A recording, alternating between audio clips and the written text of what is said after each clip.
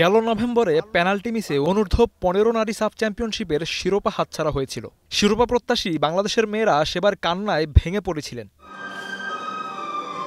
সেই দলটির সিংহবাগ খেলোয়াড় নিয়ে এবার অনূর্ধ্ব সতেরো নারী দল গঠন করা হয়েছে। স্কোয়াডে নতুন যুক্ত করা হয়েছে দুজনকে। এবারও তাদের অ্যাসাইনমেন্ট সাফ চ্যাম্পিয়নশিপ। ঘরের মাঠে খেলার সুযোগটা ভালোভাবেই কাজে লাগাতে চায় বাংলাদেশ। প্রথমেই শিরোপার চিন্তা না করে প্রতিটি ম্যাচ নিয়ে পরিকল্পনা তাদের। জানুয়ারি এক তারিখ থেকে প্রস্তুতি নিচ্ছি আন্ডার সেভেন্টিনের জন্য। আমাদের লক্ষ্য আছে ম্যাচ বাই ম্যাচ উইন করে ভালো কিছু করার জন্য। এবারের টুর্নামেন্টে বাংলাদেশ সহ ভারত নেপাল ভুটান তো থাকছেই। তবে চমক হিসেবে থাকছে রাশিয়ার মতো দল। টুর্নামেন্টের হট ফেভারিট দলটির সঙ্গে খেলতে মুখিয়ে রয়েছে গোলাম রব্বানি ছোটনের শিষ্যরা। রাশিয়া আপনার সংযুক্ত হয়েছে এটা আমাদের জন্য মেয়েদের জন্য বিরাট অপরচুনিটি আমি মনে করি। এখানে তারা অনেক কিছুই আপনার শিখতে পারবে।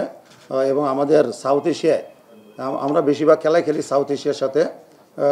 আপনার কিছু সময় হয়তো এফসি কাপে গেলে আমরা এশিয়ার টিমগুলোর সাথে খেলি। তো এখানে আমাদের বিরাট সুযোগ যে আমরা ইউরোপের টিমের সাথে আমরা খেলতে যাচ্ছি। তবে নারীদের সাফে প্রথমবার রাশিয়া কীভাবে যুক্ত হলো? কারণ হিসেবে জানা গেছে ওয়েফার ডেভেলপমেন্ট প্রোগ্রামের আওতায় টুর্নামেন্ট হওয়ায় ইউরোপিয়ান দলটি অংশ নিচ্ছে। কমলাপুরে টুর্নামেন্টে নিজেদের প্রথম ম্যাচে সোমবার ভুটানের মুখোমুখি হবে বাংলাদেশ।